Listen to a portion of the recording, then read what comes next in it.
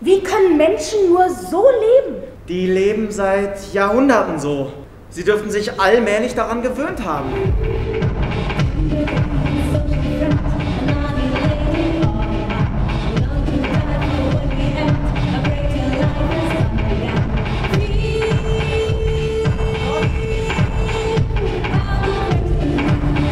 Oh, wie schön die Menschheit ist! So herrliche Geschöpfe! Wie schön die Menschheit ist! Oh, schöne neue Welt, die, die solche Wesen in sich trägt! Zivilisation ist Sterilisation, Zivilisation ist Sterilisation, Sauberkeit kommt gleich nach Freundlichkeit, Sauberkeit kommt gleich nach Freundlichkeit, Sauberkeit kommt gleich nach Freundlichkeit.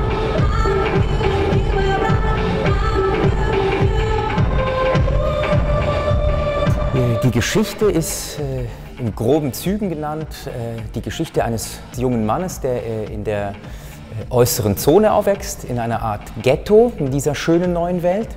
Der wird von einem, einem Besucher, einem Tourist, einem Ghetto-Tourist aus der schönen neuen Welt sozusagen entdeckt, für seine Zwecke missbraucht und dadurch in die schöne neue Welt entführt.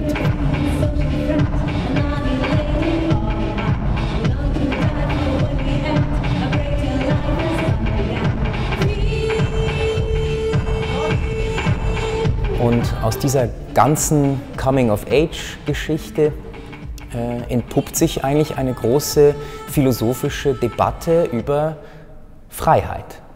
Allen geht es gut. Alle leben in Sicherheit. Wir kennen keine Krankheiten, haben keine Angst vor dem Tod. Und wenn irgendwas aus der Bahn läuft, haben wir Soma. Das Sie im Namen der Freiheit wegwerfen wollen.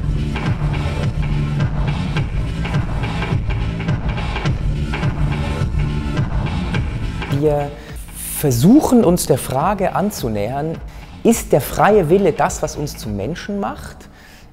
Oder ist der freie Wille das, was uns zum Monster macht?